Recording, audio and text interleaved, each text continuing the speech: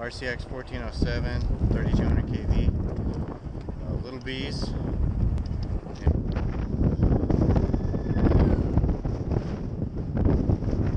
Eighty-five.